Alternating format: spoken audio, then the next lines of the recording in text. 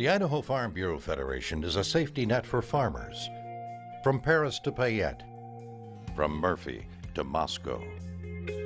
This great organization has helped farmers and ranchers for seven decades through drought, depressions, and water rights disputes. Our members stood up to the challenges, writing resolutions that became policies that became laws that shaped Idaho agriculture. Not once or twice, but thousands of times through the decades, and a few resolutions became American Farm Bureau policy and even federal law.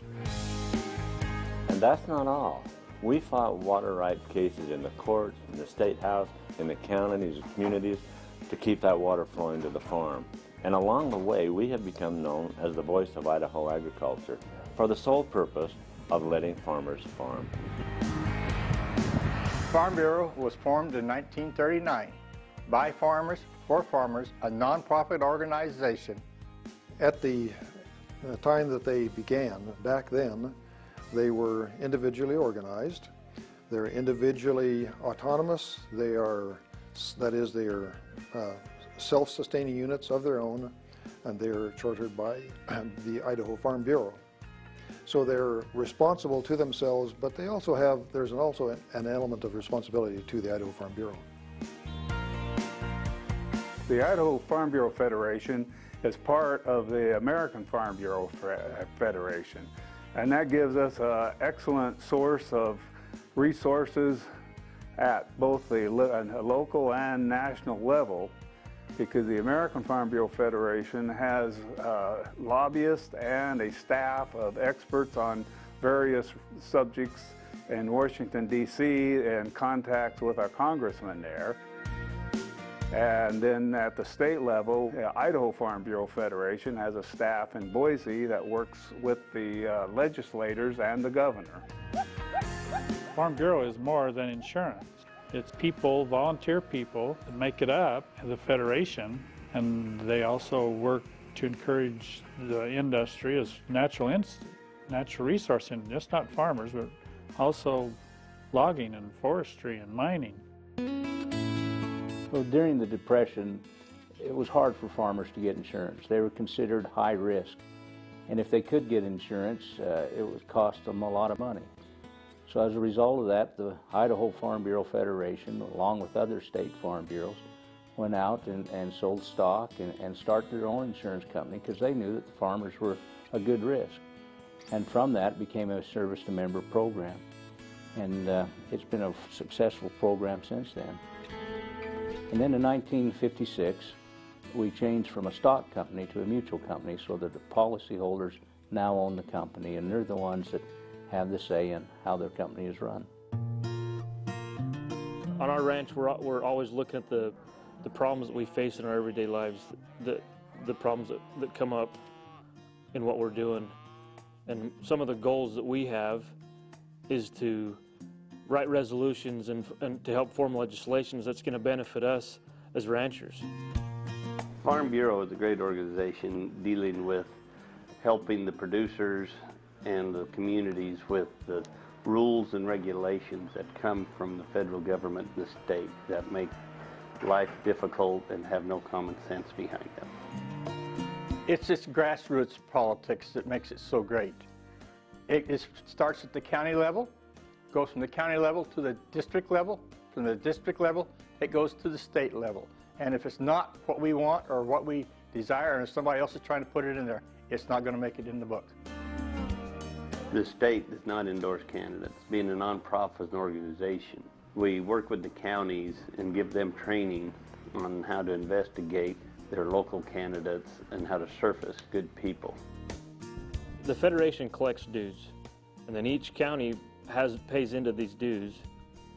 But the counties have their own board of directors and they have their own rules and bylaws that they follow that are going to be important in their own areas the problems and the policies and the actions that are going on in their own counties.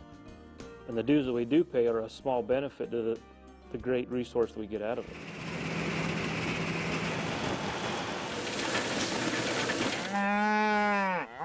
The board members generate their income from production in agriculture. And the County Farm Bureau is the governing body of, of Farm Bureau and is accountable to their membership. Our policies are definitely grassroots policies. They come from the county farm bureaus, uh, from the communities. These policies are then hashed over with in the districts. Uh, and then it comes on, if it passes the county and the district, then it comes on to the state House of Delegates, where two representatives from each county discuss these policies. And if this happens to be a policy that affects a, a, national issue, then it's passed on to the American Farm Bureau, and it goes through the same uh, process through the American. And uh, a lot of these become law. Here in Idaho, the House of Delegates meets every December. Here's a report from the 2009 session. Welcome to day two of Idaho Farm Bureau's 70th annual meeting held here in Idaho Falls. Behind me, House of Delegates is in session. This is truly a grassroots operation. I don't think there's anything better than uh, Farm Bureau for listening to the people that's that's doing all the work, to have all the issues, rather than being regulated from the top down. And so as we, we have this procedure, there's very, very few, if any, organizations that will listen uh, from the bottom and come up. So everybody has a voice and a say, and and they come, and if it's something everybody agrees on, then we carry that through, and there's nothing better. The policy that is developed in here is respected through the legislatures because they understand how our organization, Farm Bureau, produces the policy. That it comes from the members, it is voted on by the members, and the leadership only administers and delivers what the members want. From Idaho Falls, this is Jake Putnam reporting.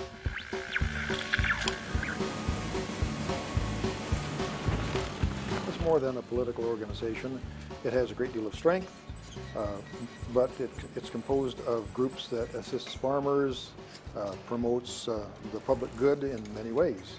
It consists of uh, groups such as a women's organization, uh, young farmers and ranchers. These groups are very important to the organization and very important, important to the community. Agriculture, most people think farming. The YF&R program in the Farm Bureau is a, a group made up of individuals between the ages of 18 and 35.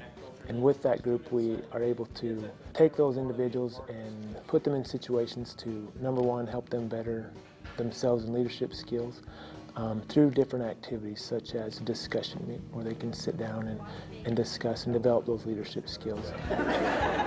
one of the great things about the YF&R program is that you come together as a collective group and you develop long-lasting friendships because you're based upon the same ideals, the same you have the same goals in mind in agriculture and you all want to see each other succeed.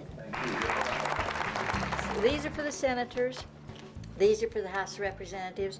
The Women's Leadership Committee is effectively working in all aspects of Farm Bureau. We are training leaders. We have speech contests. We do Ronald McDonald House, make donations there. We are uh, actively involved in political aspects of Farm Bureau and speak up for agriculture whenever we can. The Idaho Farm Bureau Commodities Division, they help us uh, farmers, Idaho farmers, uh, market their commodities, whether it's wheat, potatoes, cattle, whatever it is. They help with the marketing problems and they help farmers and ranchers with programs to, to market that stuff. The member relations managers work with the different individual county farm bureaus to help implement the Farm Bureau programs. They also um, help the county farm bureaus find and surface new, new people to help work within the Farm Bureau. And sometimes I think that's the hardest job for the county farm bureaus is to find the new people to come and, and help continue to grow our organization. And so the member relations managers really help us do our job. Farm Bureau Benefits is always looking for a way to help members save their money. And they do this through a program where you can receive discounts um, through many and varied ways, um, such as paint discounts, hotel discounts, theme park discounts, and so forth. The Public Affairs Division takes our policy and represents us at the State House. And then that's the voice of Idaho agriculture that takes it all the way to U.S. Congress. Right now, the Public Relations Division has been very active.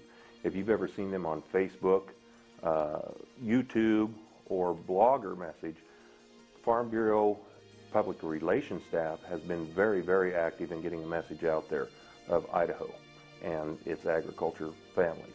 The public relations staff also produces a quarterly producer and a morning radio show across the state. So they're getting their message out there to the masses, not just in agriculture, but to all peoples of Idaho. Where's the Farm Bureau headed in the future? We'll be in the courts, the State House, and Capitol Hill. We'll be there when you log onto your computer and long after you've gone. You'll see us at annual meetings, county board meetings, resolution meetings, and wherever farm policy is debated, because we are the voice of Idaho agriculture. Idaho Farm Bureau.